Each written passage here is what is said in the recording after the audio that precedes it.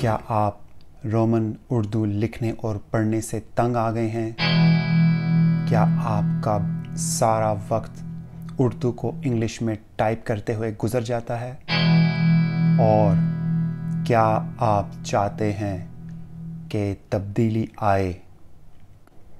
तो इस वीडियो को आखिर तक ज़रूर देखिए, क्योंकि आज आपको मैं बताऊँगा कि उर्दू का कीबोर्ड कैसे इस्तेमाल करते हैं।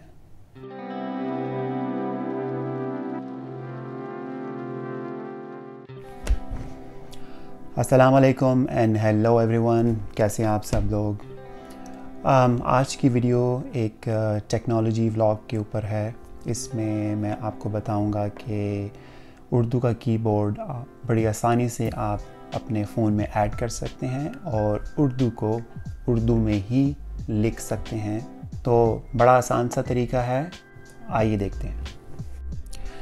इसका तरीका ये है कि सबसे पहले सेटिंग्स की ऐप ओपन करें आप और यहाँ से जनरल के सेक्शन में जाएँ।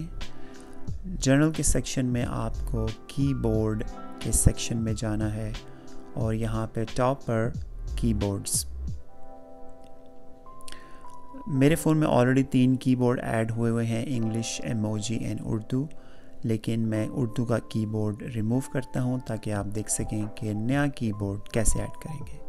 तो ऐड न्यू कीबोर्ड में आप जाएँगे। इस सेक्शन में आप देखें कि बेतहाशा लैंग्वेजेस के कीबोर्ड आपको यहाँ पर मिलेंगे। उर्दू का कीबोर्ड तो एंड में होना चाहिए लेकिन यहाँ पर मुझे ये कीबोर्ड नज़र नहीं आ रहा तो ऊपर जाके देखते हैं। Let's go back and come back again oh actually ये तो सजेस्टेड कीबोर्ड लिस्ट में है।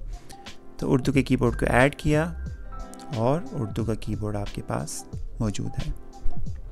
टेस्ट करने के लिए एक uh, नया नोट्स ओपन करता हूँ तो आप देखें कि जो आइकॉन है वर्ल्ड का, उसको टैप करें तो वहाँ से आप कीबोर्ड्स चेंज कर सकते हैं और उसके बाद आप आसानी से उर्दू की टाइपिंग कर सकते हैं, जिसको पढ़ने में आपको भी आसानी होगी और जिसको आप भेज रहे हैं उनको भी आसानी होगी। तो ये था आज का vlog thank you very much for watching my videos अपना ख्याल रखिए अगले व्लॉग तक के लिए अल्लाह हाफिज़